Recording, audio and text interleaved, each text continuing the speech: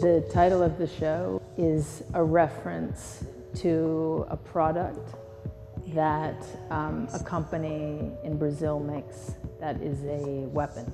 So it's an interesting combination of sort of like an interplanetary sort of sci-fi element with a hawk. Because my work uses vectors and uses coordinates and uses this type of precision and playing with precision, even to get into certain situations, I thought this is a funny title.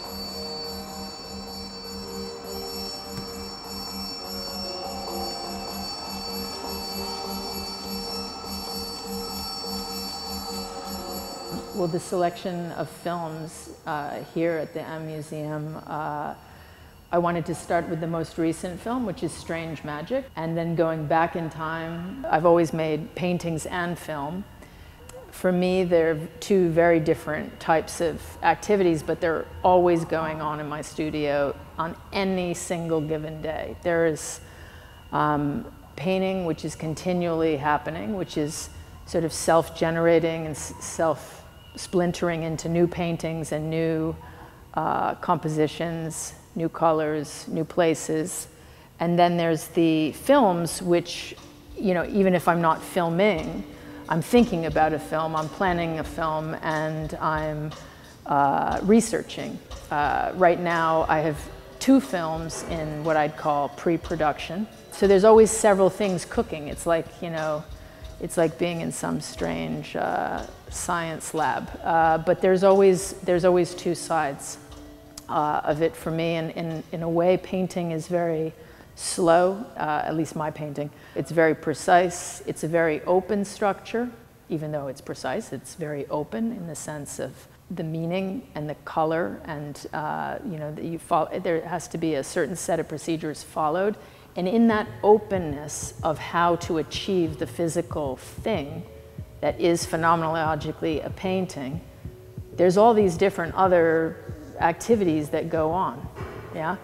Uh, some of them involves wasting time. Some of it does involve making film.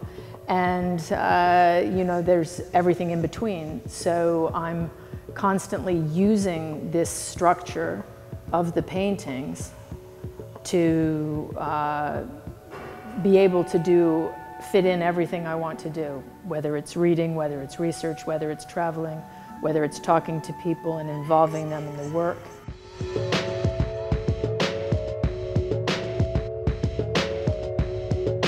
There's two types of posters. We've got the posters that are designed by MM, which is the graphic design team from Paris who always design the film posters for me. And then we have the other film posters, which are film posters which I buy and I use as drawing paper, which has this sort of embedded idea of the production of film and the distribution and how it becomes part of history.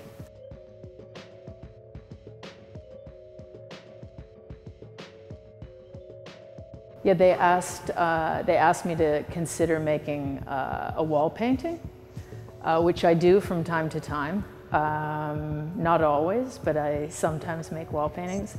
Uh, and um, I saw, came to visit the museum and I really loved this room. So I think this room is very contemplative, the way it looks out over the library and the city and um, the history uh, of the town, and uh, and I wanted to make uh, sort of an, uh, like an extreme juxtaposition.